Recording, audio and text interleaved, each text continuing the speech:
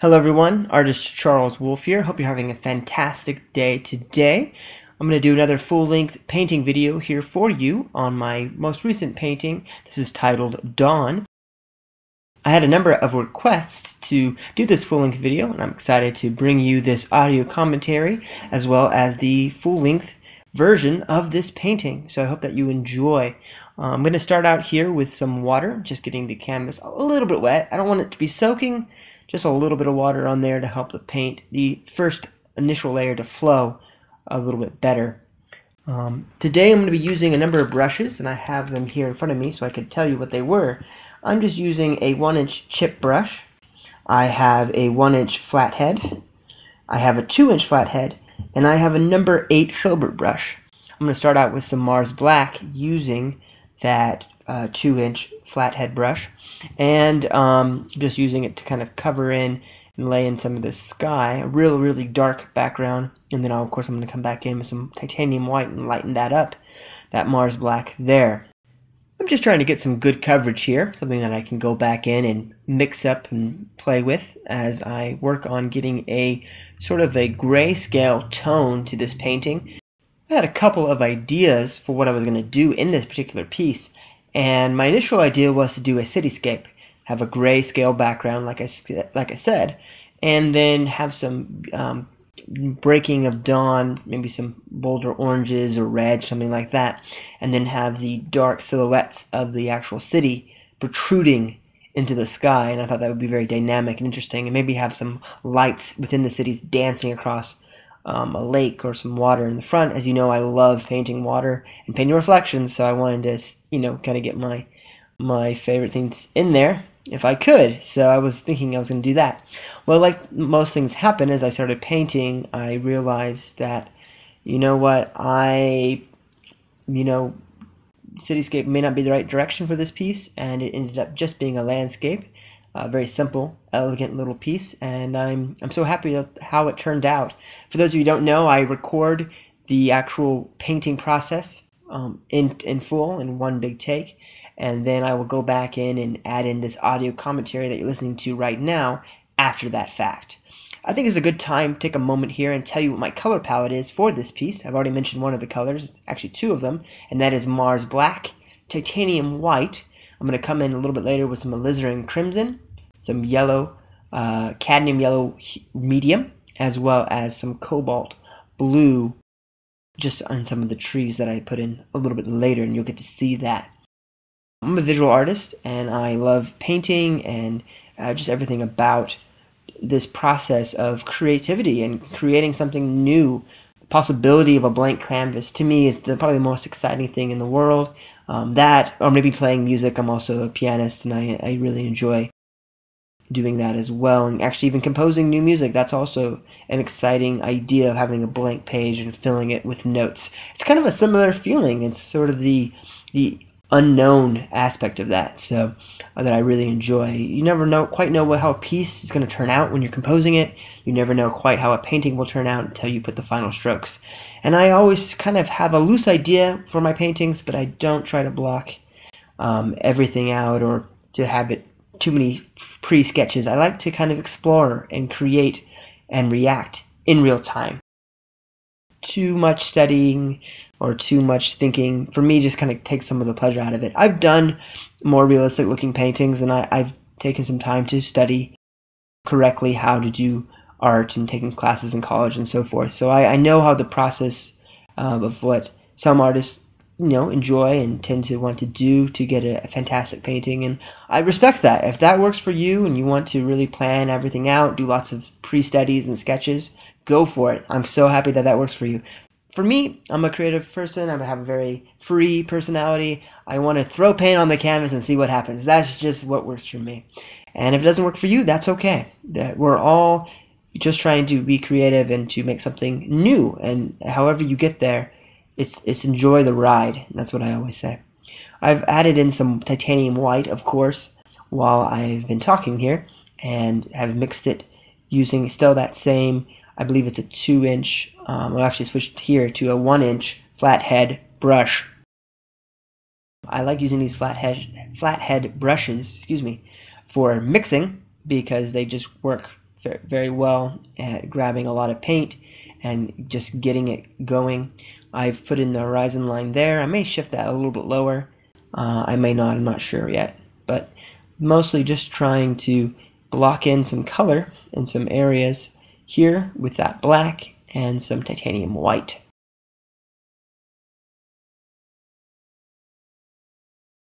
This is a fairly simple piece for me. Not a lot is going on color-wise. Um, mostly just trying to create some atmosphere and some tension with the, the darks and the lights.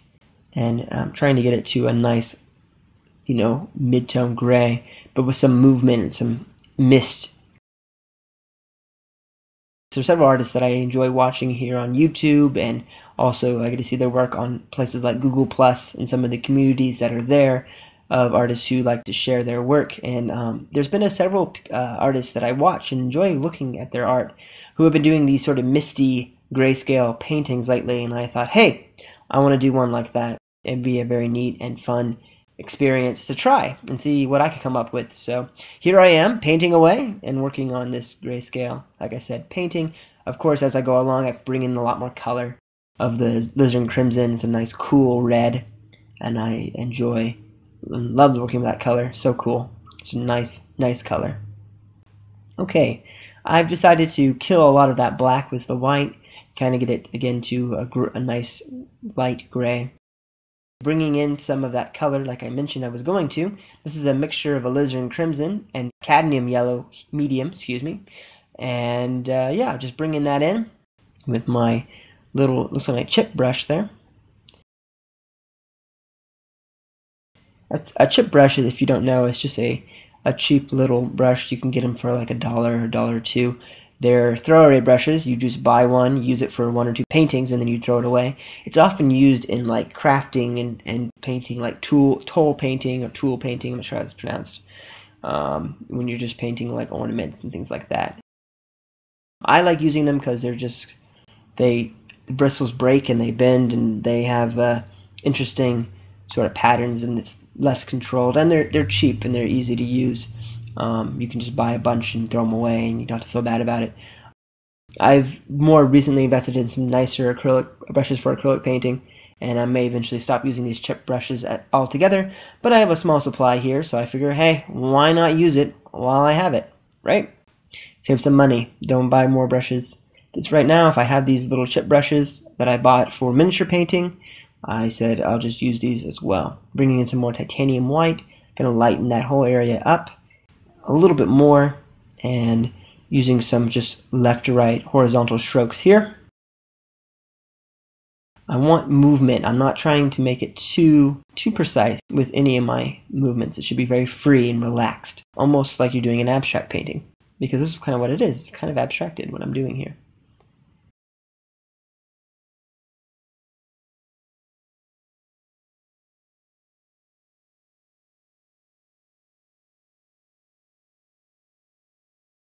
Okay, back to some of that black. I want to darken up that upper sky, make it a little bit darker. Have some clouds kind of coming in a little ominously. And because I decided that the right hand side, where it's lightest right now, is going to be where the sunrise is going to break. I decided to then darken up the opposite corners to create some depth and some dynamic tension between the dark and the light. Ooh, here it comes, the alizarin crimson that first layer of orange was just to kind of have an orangey gray hue cast behind the alizarin crimson. So I purposely put some orange on there and then evened it out with the gray and then now I'm going to come back in more seriously with the beautiful uh, tones. Here are these little clouds just bursting with color as the sun rises. And this is an abstracted landscape, so I'm not trying to be terribly realistic with what I am painting here as far as the colors. Yes, I've seen that color in just a few sunsets before, and even some sunrises. But I know that it may not be that pure, but I don't care because I'm just creating something that I feel is artistic and interesting, and I'm not going for realism. That's not my objective. I'd rather do an abstracted, artistic interpretation of a morning sunrise that's very striking and visually dynamic and interesting than to do a photographic type painting. For a number of reasons. Those who like to do photographic paintings, I have nothing but the utmost respect for them. They are very talented.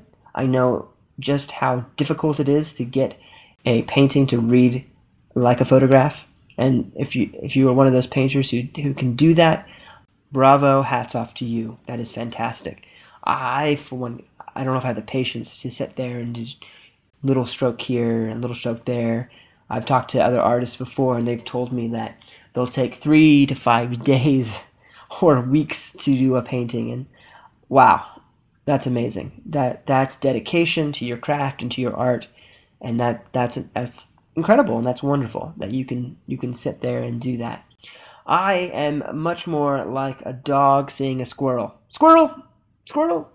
I am so ex- off to the next thing distracted very easily. Um, and so uh, to sit and to do a painting, the same painting for so many days, I think I would just be get into what I like to call analysis paralysis, and what um, actually that term is taken from board gaming. I don't know if you, any of you like to play board games or enjoy doing that, but whenever someone is taking a very long turn, um, you see this sometimes in poker um, tournaments. You'll see them uh, sit there for five or six minutes thinking about their next play yeah, it, analysis paralysis, overthinking it. That that that for me is not a good thing. So doing one hour spontaneous paintings like this are much more my speed rather than trying to do hyper realistic week long marathons on a single painting. But that's just me. Like I said, if you're someone who can do that, hats off to you. Bravo. Bringing in some more Mars Black here.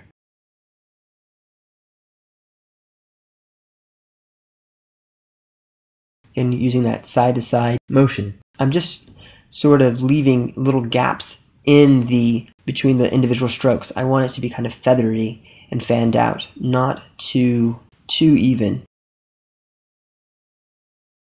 Okay, bringing in the gray a little bit more. I'm going to go back over with some more black before the end, but again, I want to smooth out some of those far their edges and make it a little bit more subtle.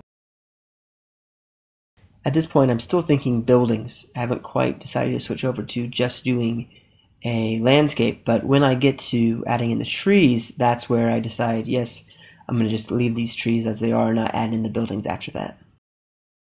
Okay, a little bit more of the darker gray. Still using that 2 inch flat brush.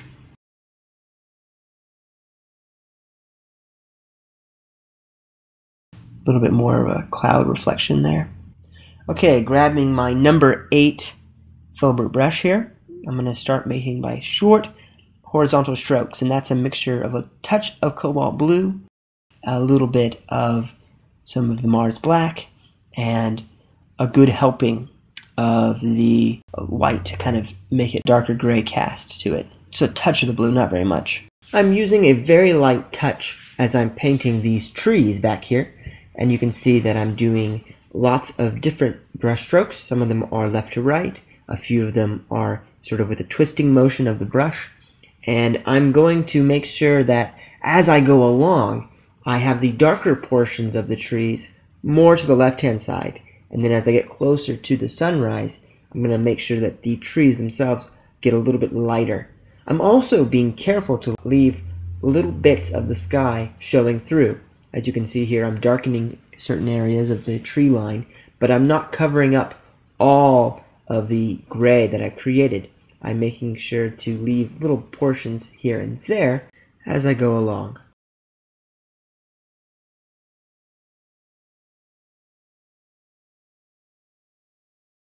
I've noticed that as things get closer to the light source, they're going to get lighter. So here I'm using the very last bits of my brush to bring in some more of the trees right next to the sunrise. But as they get further away to your left, they're going to get a bit darker.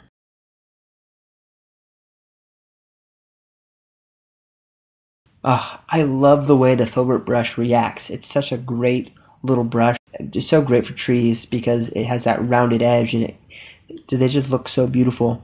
And it, it's nice to just put a bunch of little strokes and a few minutes later you have some trees. It's that simple.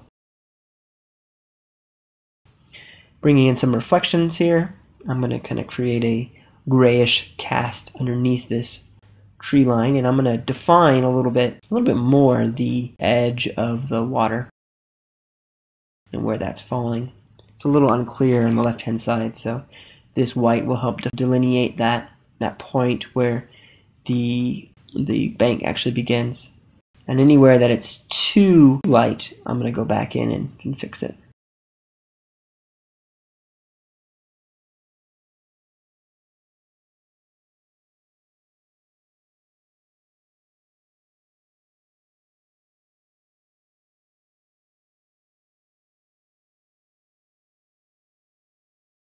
Starting to work. The light is coming out from the red on the right hand side, kind of shifting into that milky white. Oop, bump the camera. And then becoming darker to the left. Just adding in a few watermarks here. Using some brisk left to right strokes.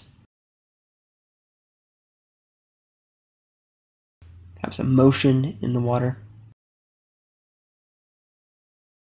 Adding a few of the reflections of these larger trees here with my filbert brush. Taking the larger brush, I'm going to add in a little bit of the lighter gray, a bit more of the black, and back to the lighter gray. I want the reflections to not be a solid band, so I'm breaking it up a little bit, trying to match more or less what's above, not perfectly, but close. This painting is not terribly difficult to do, and I think that considering the, the scope of the composition, um, anyone could really get a handle on this. This mixture I'm bringing in here is titanium white, cadmium yellow medium, and some of the alizarin crimson.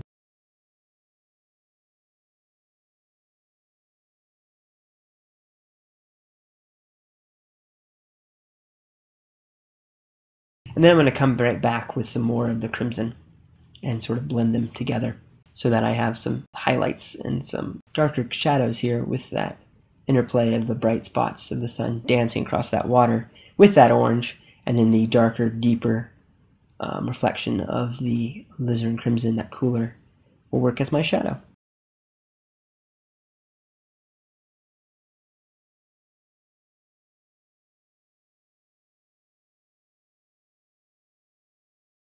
This was a fun little piece to paint, and I just had a lot of fun with it.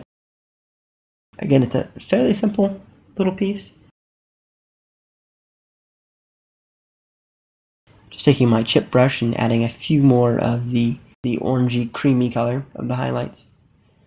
And um, yeah, I think it turned out pretty well.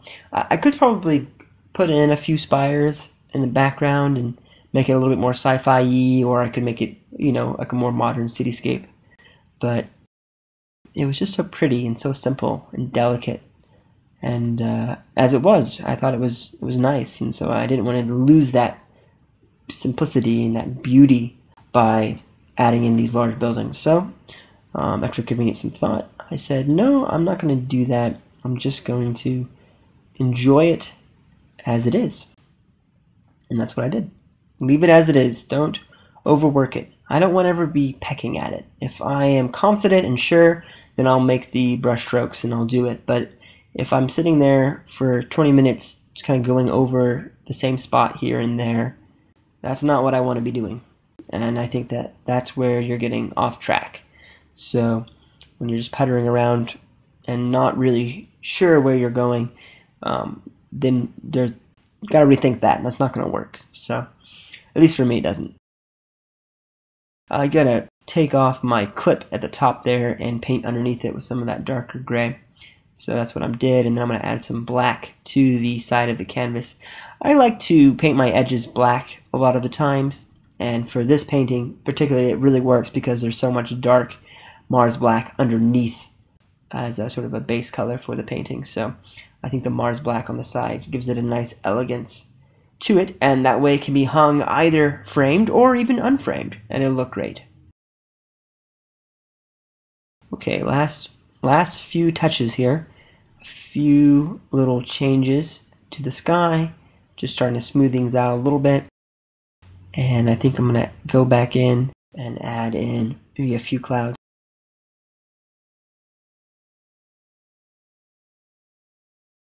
Now, I want to point something out here. I just took a dry brush. I was trying to smooth things out, and you notice there's some lighter white that is appearing. And I didn't want that. I didn't like that. So what I'm going to do in a minute is to take some of the darker gray and add in a darker cloud right right there. And it's going to really balance the left-hand side with the right-hand side, and then reflect it, of course, in the water below.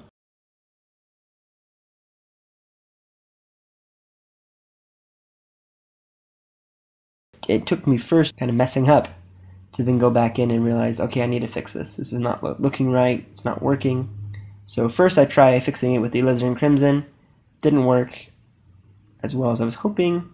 So I decide, okay, I'm going to darken it up a little bit.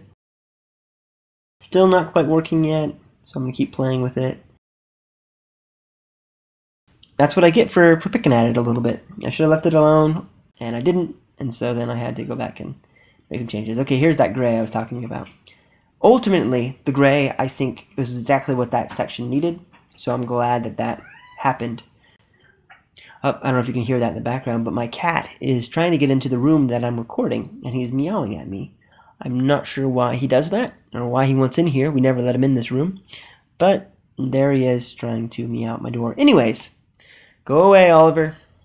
Silly cat. Okay, a little bit more of the cloudy gray to add some, some darker clouds here. And I think that's about it. That should do it. A few last touches and we are done. Thank you so much for watching this painting video. I hope that you enjoyed it. You can buy my art at my Etsy shop, Impulsive Artistry. Just look for me on Etsy. There's the link right there. I'll put a link in the description below. You can also follow me on Twitter, Facebook, my blog, and on Google+. So check those out. And as always, thank you for watching and have a fantastic day.